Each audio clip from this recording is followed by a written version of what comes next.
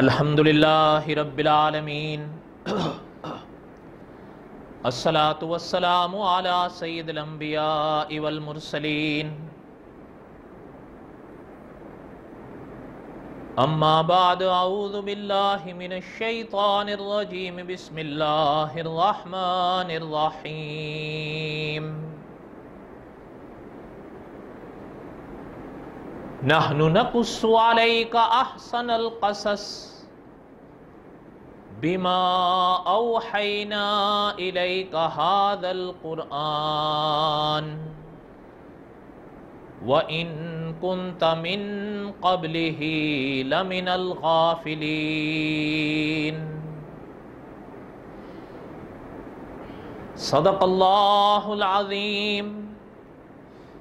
वबल्लगना रसूलुहुन्नबीयुल करीम वनहनु अला ज़ालिक लमिनश शाहिदीन वश्शाकिरीन वल्हम्दुलिल्लाहि रब्बिल आलमीन अल्लाहुम्म सल्लि अला मुहम्मदिन व अला आलि मुहम्मद कमा सल्लैत अला इब्राहीम व अला आलि इब्राहीम इन्नका हमीदुम मजीद अल्लाहुम्म बारिक अला मुहम्मदिन व अला आलि मुहम्मद, कमा बारकत अला इब्राहीम व अला आलि इब्राहीम इन्नका हमीदुम मजीद।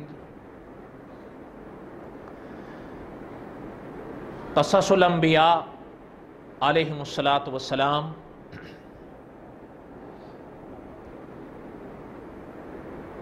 हम जुमे के बयानात में पढ़ रहे हैं,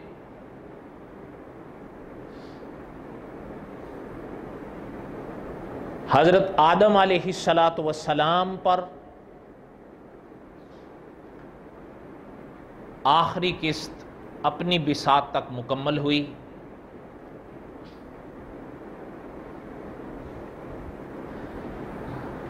अब हज़रत आदम सलाम से आगे सुने।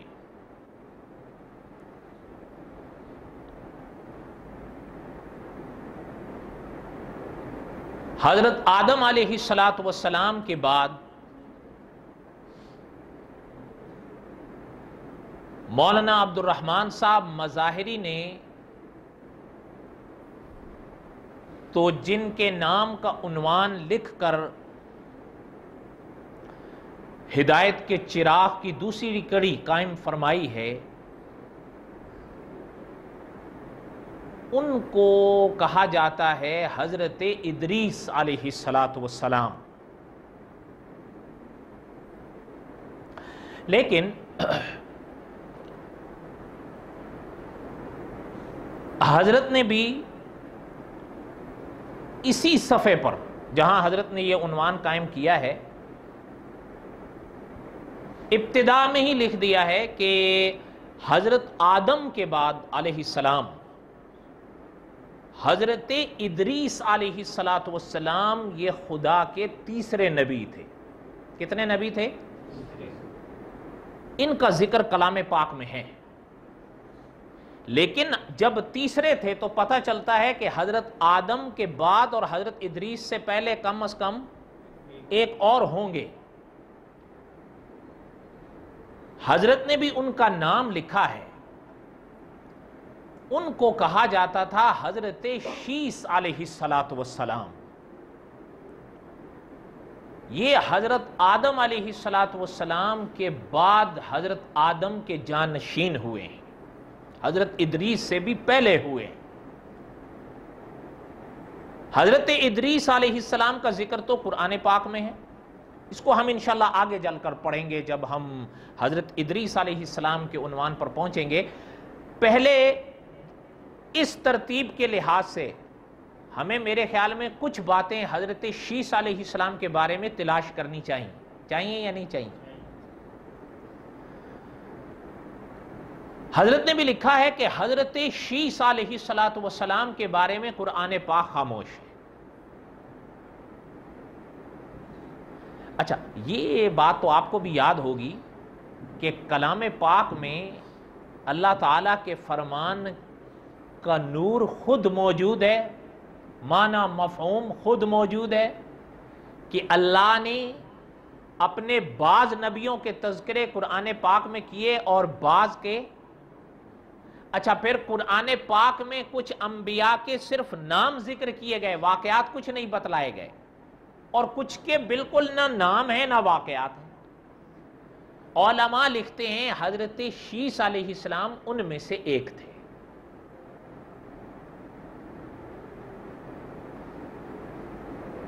लेकिन हज़रत वजदी हुसैनी रहमत ने लिखा है, हज़रत की इबारत का माना यह है कि इंसान की पुरानी तमन्ना है, दिल्ली तमन्ना है कि इंसान अपने बाप, दादा के निशान जानना चाहता है और देखना चाहता है। मैं आपको दिल लगते शरीयत ने फ़र्ज़ वाजिब नहीं किया आप पर। लेकिन अगर अगर हमें और आपको पूरे यकीन से पता हो, पूरे यकीन से पता हो कि हमारी वादी में हज़रत आदम की कब्र है, आप और हम जाते कि नहीं जियारत के लिए? भाई चलें, अब हज़रत आदम सलाम का पाक चेहरा तो नहीं देख सकते, लेकिन वो जगह जहाँ हज़रत की निस्बत है, उसकी तो ज्यारत की जा सकती थी।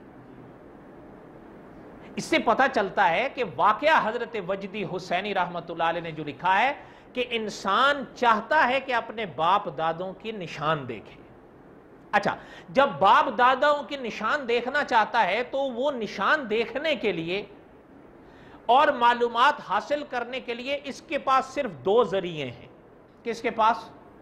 इंसान के पास। कितने ज़रिए हैं? दो ज़रिए हैं।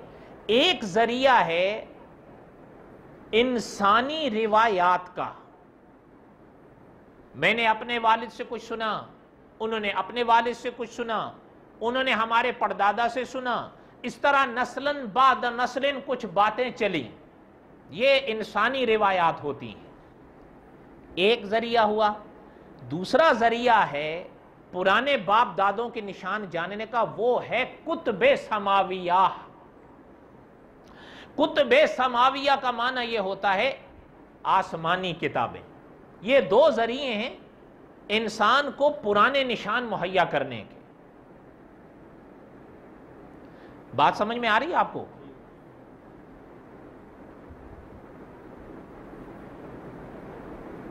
तारीख के हवाले से जो इंसानी रिवायात मौरखीन ने अगलों से पिछलों के सुपुर्द है उनके मुताले से पता चलता है, या वो और आप खोलें तो पता चलता है कि हज़रत आदम सलात सलाम के बाद हज़रत शीस सलाम हज़रत आदम के जानशीन हुए। हज़रत आदम की तालीमत, हज़रत आदम की हिदायत, हज़रत शीस के ज़रिए हज़रत आदम की बाकी औलाद को मिली। हज़रत वजदी हुसैनी रहमत ने इमाम इबन कसीर रहमत के हवाले से लिखा है कि जब हज़रत आदम सलाम का आखिर ज़माना आया। अच्छा आखिर ज़माने से पहले की बात ये भी थोड़ी सी सुन लें। आप हजरात ने सुन रखा है, पढ़ रखा है कि हज़रत हाबील को काबिल ने शहीद किया। और हज़रत हाबील की शहादत हज़रत आदम की ज़िंदगी में हुई। काबिल तो वहाँ से भाग गया। जिस लड़की के हवाले से माजरा बिगड़ा था, उसको लेकर भाग गया। और वो जाकर दूर वादी में निकल गया। इतना पता चलता है पुरानी किताबों से कि वो बड़ी सरसब्ज, खूबसूरत वादी थी। ध्यान मेरी तरफ़ रहे। इतना पता चलता है पुरानी किताबों से कि बड़ी खूबसूरत सरसब्ज वादी थी जहाँ उसने डेरा लगाया। किसने? काबिल ने। अच्छा वो लड़की को भी साथ ले गया, जिसको चाहता था। फिर कुछ उस जहन के लोग, जो काबिल की तरह जहनीत रखते थे, वो भी हज़रत आदम की वादी छोड़कर उसकी तरफ़ भाग गए। हज़रत आदम को हा, जनाब हाबील की शहादत का पता चला और इसके फिरार का। ज़ाहिर बात है, बाप तो थे ना। ओलमा ने लिखा है कि जब हज़रत हाबील का हादसा हुआ तो अल्लाह ताला ने बतौर अपनी इनायत के हज़रत हवा से हज़रत आदम को हज़रत शीश बख्शे। और शीश का माना क्या है? शीश का माना है खुदा की इनायत। चूँकि हज़रत हाबील की शहादत हुई, इतने बड़े हादसा सामने आया हज़रत आदम और हज़रत हवा के सामने तो अल्लाह ताला ने उस हादसे के बाद बतौर इनायत के हज़रत शीश हज़रत आदम और हज़रत हवा को बख्शे। शीश का माना क्या है? खुदा की इनायत।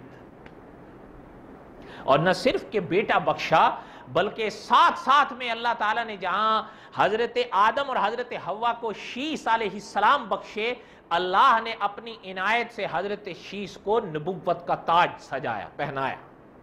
और हज़रत शीश खुदा के नबी बने। ओलमा ने यूँ लिखा है कि हज़रत शीश सलाम पर अपने वक्त में अल्लाह ने पचास सहाइफ नाजिल फरमाए। क्या? पचास सहाइफ सहाइफ कहते हैं सहीफों को। सहीफा किसको कहते हैं?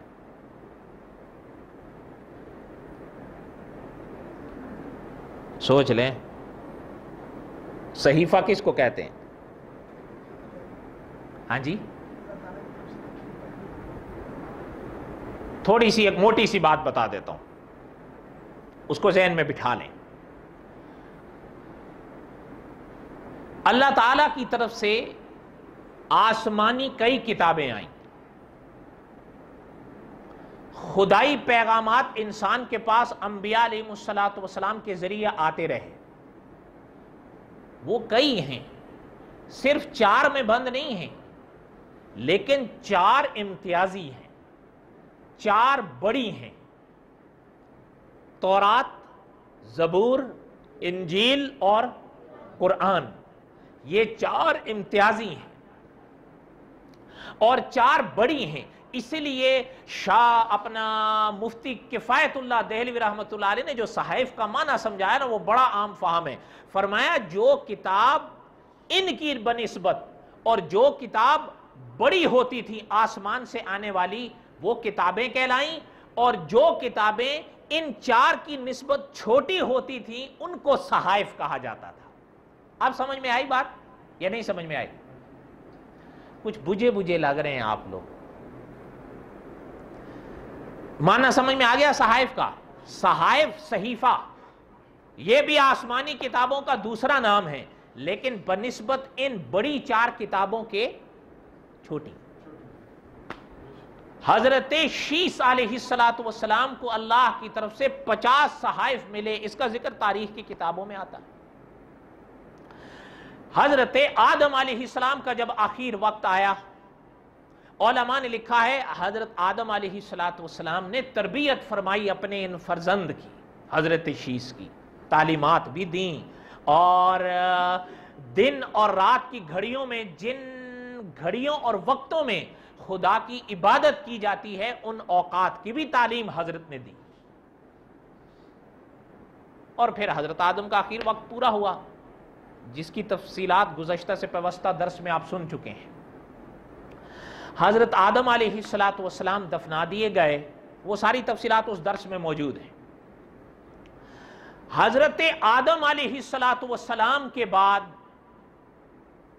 साहिब कससुल अंबिया लिखते हैं कि तकरीबन एक साल के बाद हज़रत हवा का वक्त भी पूरा हो गया और वो भी इस दुनिया से पर्दा फरमान।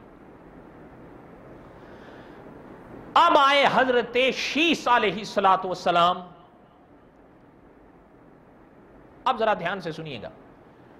वो लोग जो भाग कर काबिल के कबीले में जा मिले और काबिल का जो कबीला था, जिस वादी की तरफ़ निकला था, वो गालिबन ओलमा की ज़ुबान में सहूल का इलाका कहलाता था। सहूल के इलाके को आप ऐसे समझें कि मैदानी इलाका। मैदानी इलाके में जो लोग आबाद हुए, ये वहाँ रहने लगे। और उसी दौर में कुछ लोग पहाड़ों की वादियों में रहते थे, पहाड़ी इलाकों में। तारीख की किताबें बताती हैं कि वो सिलसिला हाबील के कबीले का था, जो पहाड़ों में रहता था। यहाँ तक बात समझ में आई है? अब आगे सुने।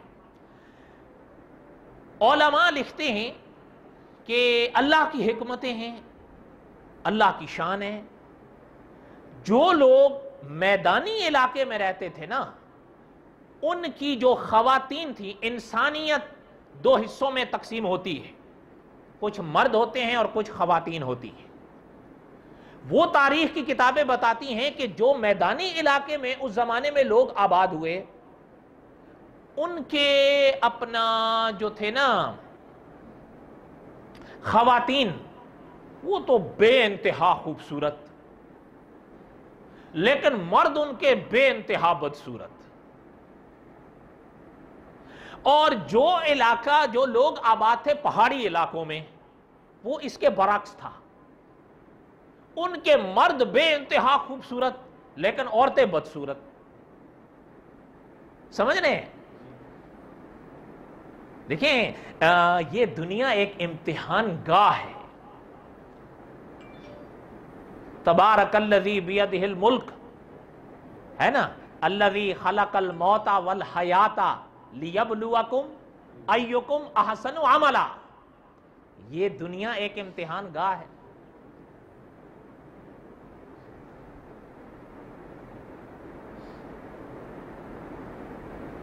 साहेब कससुल कुरान लिखते हैं कि जब ये मरहला आया तो इबलीस उस वादी में आ निकला।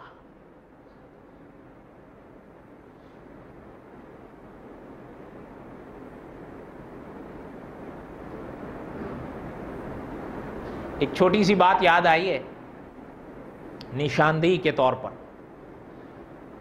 उस्ताजुलमा अल्लामा खालिद महमूद साहब दुआ करें, अल्लाह ताला उनका साया तादेर सलामत रखे। हज़रत का एक मजमून है, एक यहूदी सफ़े इस्लाम में आ निकला। वो लोग जो सहाबा के खिलाफ चले हैं ना, उनकी तारीख का पस मंज़र पढ़िए आप। उनवान यहीं से शुरू होता है, एक यहूदी सफ़े इस्लाम में आ निकला। बहरहाल बिल्कुल इसी लिहाज से साहेब कससुल कुरान लिखते हैं कि इबलीस उस वादी में आ निकला और उसने देखा कि मौका तो बड़ा अच्छा है, कुछ हरकत करनी चाहिए। वो एक गुलाम की सूरत धार कर लड़के की उस वादी में आ गए। और ये तो साहिब कससुल कुरान ने भी लिखा है और अकाबिर ने भी अपने मुकाम पर लिखा है कि इबलीस को तो अल्लाह ने इस्तराजी तौर पर कुछ कुतें दी हैं आपके हमारे इम्तिहान के लिए।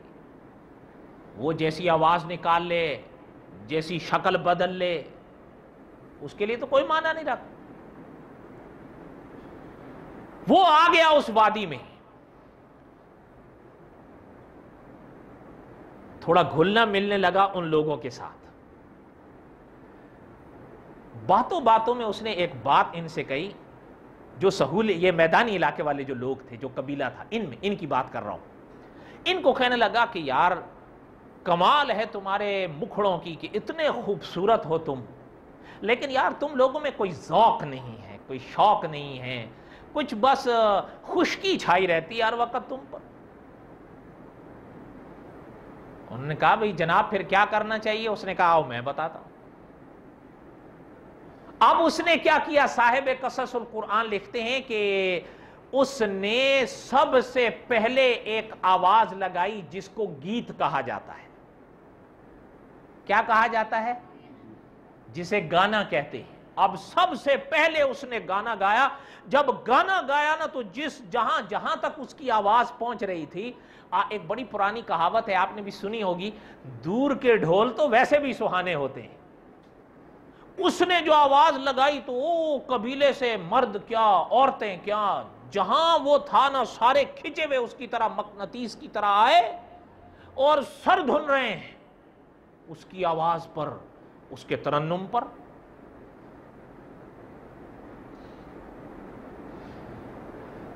चलते चलते एक बात कह दूँ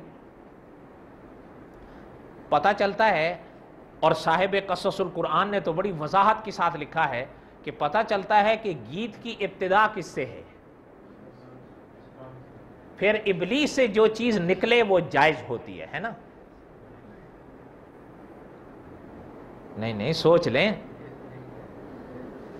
वैसे तारीख तो बताती है ये उस, ये गीत की तारीख। सबसे पहले उसने गीत गाया। और साहिब कससुल कुरान ने तो बगैर किसी लगी लिपटी के लिखा है कि पता चल रहा है कि गीत की इब्तदा इबलीस से हो रही है। अच्छा अब ये थोड़ी सी आपके लिए दावत फ़िक्र है कि फिर ये आप सोने के, सुन, सोचें कि जिस बात की इब्तदा इबलीस से हो रही है। जैसे बड़ा पुराना किस्सा है। अब मैं वो पूरा तो नहीं सुना सकता, सिर्फ़ उसका जरा सा खुलासा।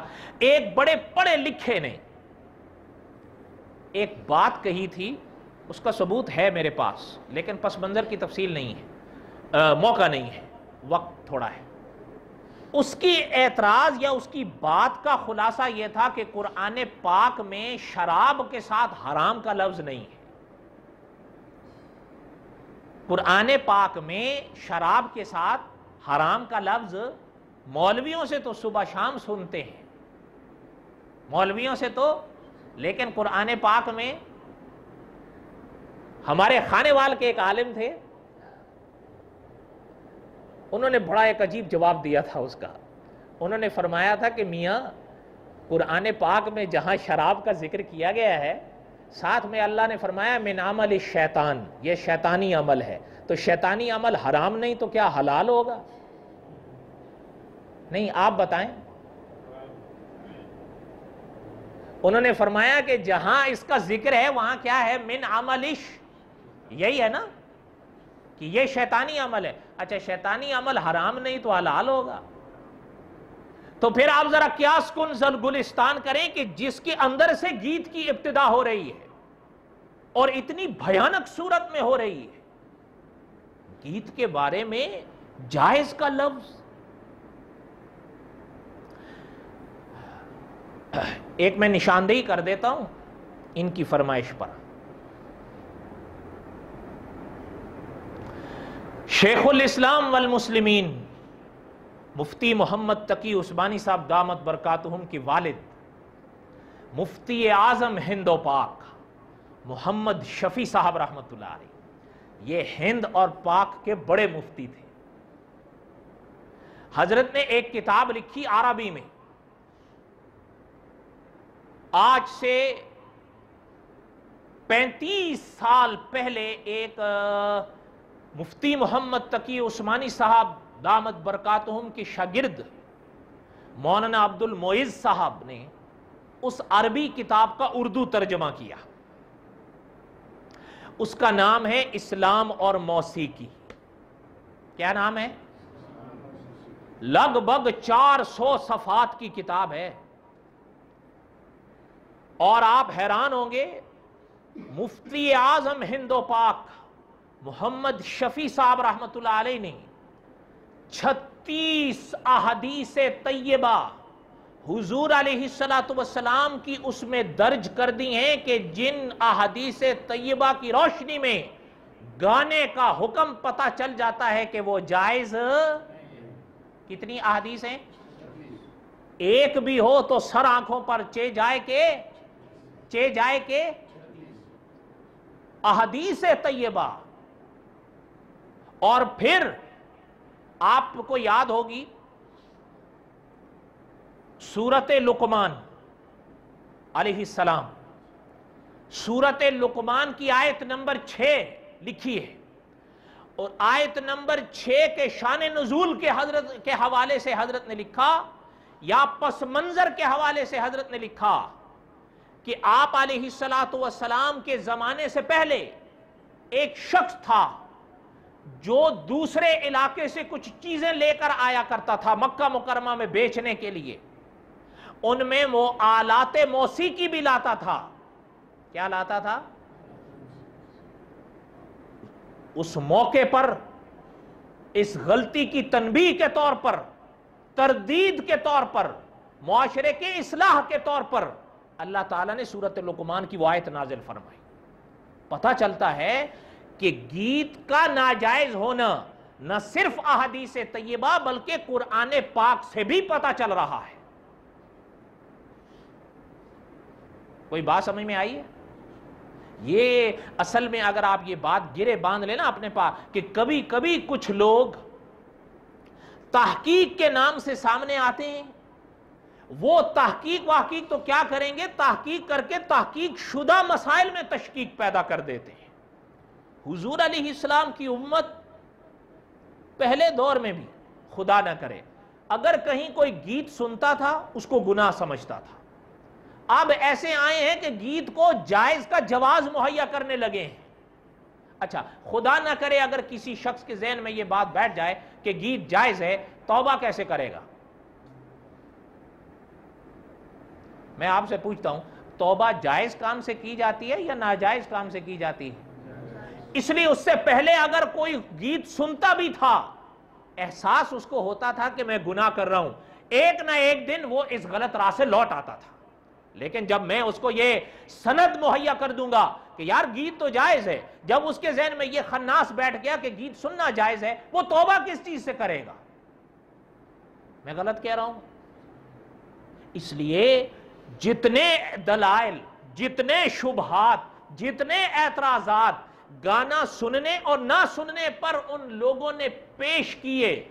मौलाना मोहम्मद अब्दुल मोइज साहब ने एक एक ऐतराज का तसली बख्श जवाब लिखा है। और इस किताब का पेश लफ्ज, मुफ्ती तकी उस्मानी साहब दामद बरकत के अपने हाथों का है। क्या नाम है किताब का? इस्लाम और मौसीकी। इतनी बात बहुत है। चले। अच्छा बात क्या सुना रहा था? ये आ गया, इसने गीत गाया। गीत गाया और जब गीत गाया ना,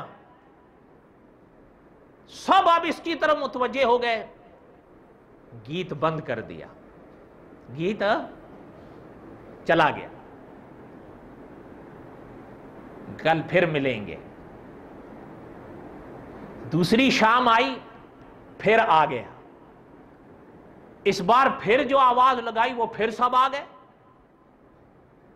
किस्सा मुख्तसर ये हुआ कि नाचना, गाना, थरकना, तीसरे मरहले पर जब थरका उनके सामने तो मर्द तो मर्द रहे, औरतें भी शामिल हो गई।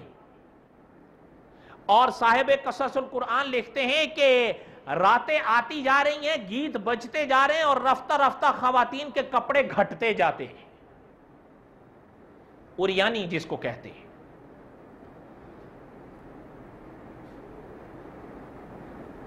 इधर तो ये आग भड़काई, उधर आया पहाड़ी इलाका, अब उधर आ निकला, उधर आया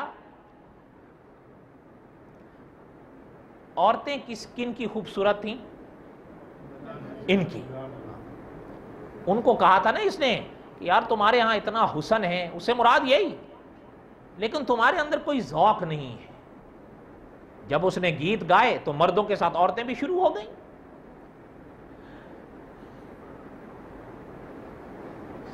इतने में जब इधर आया, इनको कहने लगा जो ये थे, पहाड़ी इलाके के। इनकी जो मर्द थे वो बहुत खूबसूरत थे, औरतें खूबसूरत थी इनसे कहने लगा कि यार, तुम लोगों का तो जो चेहरे हैं ना, तुमने तो आज तक हुसन देखा ही नहीं है। ये क्या है? जरा नीचे जाओ, हुसन की वादी तो देखो। तुम्हें पता चले दुनिया किसको कहते उनको साथ लेकर आ गया। अब इसने गीत जो गाया अब ये भी मिले, वो भी मिले। अब नाचना, थरकना शुरू हुआ। लिबास पहले से घट गया था, वो भी उन खवातीन का। अच्छा इनकी इधर से तवज्जो पड़ी। साहेब कससुल कुरान लिखते हैं, नाचना, नाचने से इब्तदा की गई, फिर गाना, गाने से इब्तदा की गई, नाचना, लिबास कम होना, आपस में मिलना, मिलाना इसकी इंतहा जाकर जिना पर हुई। फिर शराब, कबाब, हालत खराब हो गई। इतनी बिगड़ी वो कौम कि अल्लाह के नबी, अब यहाँ से तारीख का पन्ना पता चलता है। तारीख का पन्ना बताता है कि हज़रत शीस सलाम को फिर अल्लाह ने इनकी तरफ़ भेजा। जाकर उनको समझाओ। अब हज़रत शीस सलाम तशरीफ़ लाए। हज़रत शीस सलाम ने इनको अपने इंतहा कर दी हज़रत ने समझाने में। लेकिन कोई करवट बैठे नहीं। किसी करवट। किस्सा मुख्तसर ये कि साहेब कससुल कुरान लिखते हैं कि वो फितना इतना बड़ा कि समझाने से वो किसी सूरत बाज नहीं आए तो हज़रत शीस सलाम को बाकायदा जंग लड़नी पड़ी उनसे। तब जाकर वो फितना खत्म हुआ। और अल्लाह ताला ने उस जंग में हज़रत शीस सलाम को फतह नसीब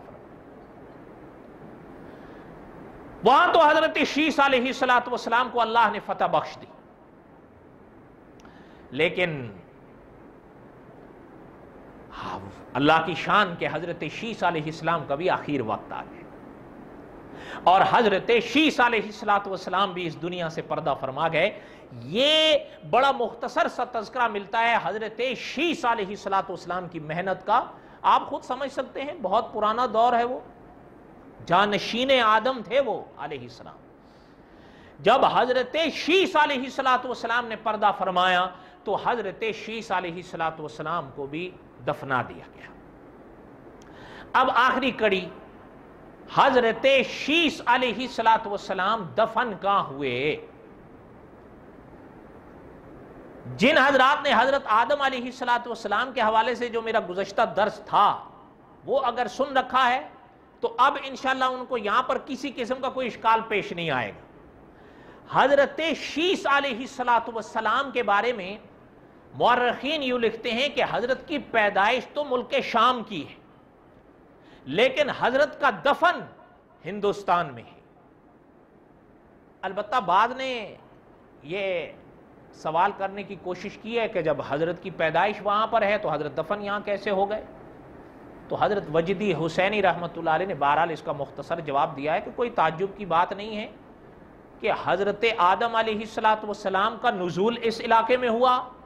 हज़रत आदम सलाम यहाँ से हज करने गए, हज़रत हवा की तलाश में निकले। फिर हज़रत हवा से मुलाकात हुई, मुल्क शाम भी हज़रत का जाने का पता चलता है, वहाँ हज़रत शीश की पैदाइश हुई। बाद में हज़रत आदम सलाम की कब्र के हवाले से तो तारीख के पन्ने बताते हैं कि लंका की वादियों में सो गए। तो इसलिए हज़रत शीश का इस इलाके में आना या जाना कोई ताज्जुब की बात नहीं है। बाज हजरात ने तो यह लिखा है कि हज़रत आदम अली इस्लाम को लंका की जिस वादी में दफनाया गया, वहीं पड़ोस में हज़रत शीश को भी दफनाया गया। लेकिन हज़रत वजदी हुसैनी रहमत ने हज़रत की कबर के हवाले से तीन मुकाम ज़िक्र किए। उनमें से एक को हज़रत मशहूर करार दिया, बल्कि शोहरत का दर्जे के हवाले से ज़िक्र किया। कितने कॉल पेश किए अकवाल? तीन। उनमें से एक को शोहरत का दर्जा करार दिया। हज़रत वजदी हुसैनी रहमत ने अपनी किताब हिंदुस्तान इस्लाम के साय में हज़रत ने उनवान कायम किया है हिंद में, हज़रत शीस इस्लाम का मज़ार। बड़े अजीब और आक हज़रत ने लिखे हैं और ख़ास कर हज़रत शीस इस्लाम के इस तस्करे के मौके पर हज़रत ने हाशिए में जो नोट लिखा है, वो ऐसा इल्मी है कि आब जर से लिखने के काबिल है। उसका कुछ खुलासा मैंने कहीं ना कहीं पहले कससलम्बिया में बयान कर दिया है। आखिरी बात सुनिए। हज़रत शीस की कबर की जाए वकू के हवाले से हज़रत ने जिस कॉल का इंतखब किया है, वो हिंदुस्तान में ज़िला है, ज़िला फैज़ आबाद कहलाता है। आपने नाम सुना होगा? अयोध्या। बाज अकाबिर यूँ फरमाते हैं, ये लिखा ये के साथ जाता है पढ़ा जीम के साथ जाता है, अयोध्या। और बाज इसको अयोध्या और अयोध्या दोनों तरह से ज़िक्र कर देते हैं। समझ आ रही है? इस अयोध्या के मुकाम पर हज़रत शीस सलाम की कब्र आज भी मौजूद है। और ऐसा मुकाम है ये जहाँ उस मुकाम का एहतराम मुसलमान करते हैं, वहाँ उसका मुकाम, उस मुकाम का एहतराम हिंदू भी करते हैं। और न सिर्फ़ ये कि आपको मुसलमान ये कहते सुनाई देंगे कि ये हज़रत शीश का मज़ार है, बल्कि आप किसी हिंदू से भी पूछेंगे तो वो भी आपको कहेगा कि ये जनाब शीश का मज़ार है। समझ आई बात या नहीं समझ आई? अच्छा एक और चीज़, चलते चलते। आप में से कई हजरात को याद होगा, सन उन्नीस सौ बानवे के आखिर में हिंदुस्तान में बाबरी मस्जिद का हादसा हुआ था।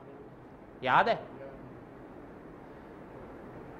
ये बाबरी मस्जिद कहाँ है? ये अयोध्या में ही। और मैं कह रहा हूँ ना, वो मुकाम अयोध्या का ऐसा है कि मुसलमान भी उसका एहतराम करते हैं और हिंदू भी करते हैं। मुसलमान एहतराम करेंगे, का, इस हवाले से तो करेंगे कि वहाँ हज़रत शीश की कब्र बताई जाती है। हिंदुओं का कहना यह कि वो राम जन्मभूमि है। और इसी हवाले से बाबरी मस्जिद का हादसा पेश आया था। लेकिन अल्लाह की शान है, अल्लाह के फैसले हैं।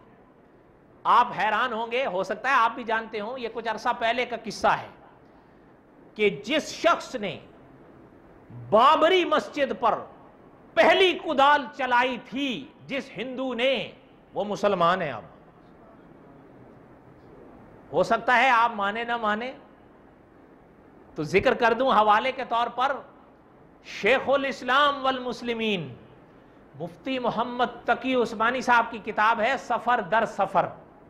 उस किताब का गालिबन सफ़र नंबर 340 है। हज़रत ने हिंद के सफ़र का उसमें सफ़रनामा लिखा है। उस मौके पर हज़रत की उस शख्स से मुलाकात हुई है। हज़रत ने खुद लिखा है कि जनाब कलीम सद्दीकी साहब के साथ मुलाकात के वक़्त इन साहब ने एक लिबास पहना हुआ था जो नीचे से टखनों से ऊपर था, लंबा कुर्ता था, पूरी दाढ़ी थी।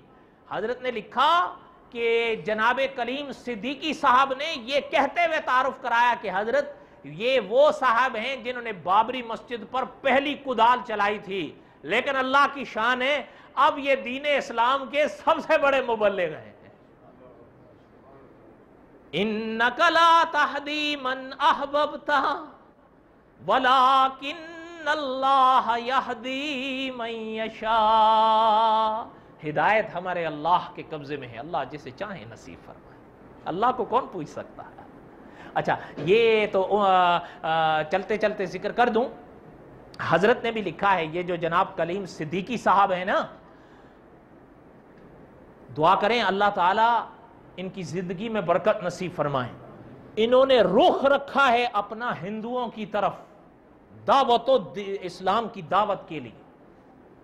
इतनी मेहनत की है उस आदमी ने कि कोई शख्स मौलाना की हर बात से इत्तेफाक करे ना करे, लेकिन उनकी मेहनत से इनकारी नहीं हो सकता। एक नहीं, सैकड़ों हिंदू मुसलमान किए हैं। और आप हैरान होंगे कि जो लोग मुसलमान हुए इनकी मेहनत से, हिंदुओं में से, उनके हालात कि उन्होंने इस्लाम क्यों और कैसे कबूल किया, वो मौलाना की मुस्तकिल किताब में छपे उस किताब का नाम है नसीम हिदायत के झोंके। छह जिल्दों में है वो। कितनी जिल्दों में है? छह जिल्दों में है। और जिस शख्स ने बाबरी मस्जिद पर सबसे पहली कुदाल चलाई थी उनके हालात पहली जिल्द में है। क्या ना क्या उन, कौन सी जिल्द में है? पहली जिल्द में है। गालिबन बलबीर सिंह नाम था उनका उस वक्त। पहले अब उनका नाम मोहम्मद आमिर है। क्या नाम है? और वो खुद बताते हैं, उसमें लिखा हुआ है। कहते हैं कि बाबरी मस्जिद का जो गुनाह हुआ मुझसे, मैं अल्लाह से सुबह शाम उसकी माफ़ी माँगता हूँ और यह तय किया हुआ हूँ कि अल्लाह, ये आँखें बंद करने से पहले पहले हिंद की वादी पर सौ मस्जिदें तेरे नाम से बनाकर जाऊँगा। कितनी? और लिखा है नसीम हिदायत के झोंके में कि तकरीबन तीन कम सत्तर मस्जिदें। कितनी? तीन कम सत्तर मस्जिदें। सन 2009 तक वो गैर आबाद मस्जिदें कि जिस तरफ़ मुसलमान रुख नहीं कर रहे थे, इस कलंदर की मेहनत से आबाद हुई हैं। कितनी?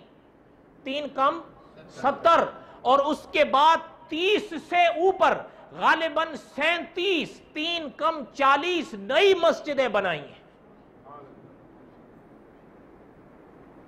नूरे खुदा है कुफर की हरकत पे खंदजन। फूकों से ये चिराग बुझाया न जाएगा। दुआ करें कि अल्लाह ताला आपके, हम सब के हामी नासिर हों। वमा अलैना इल्लल बलाहुल मुबीन।